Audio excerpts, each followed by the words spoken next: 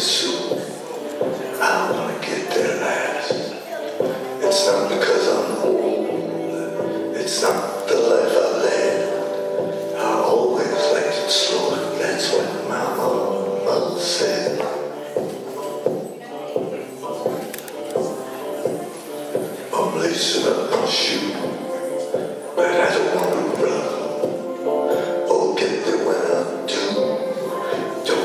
studying good.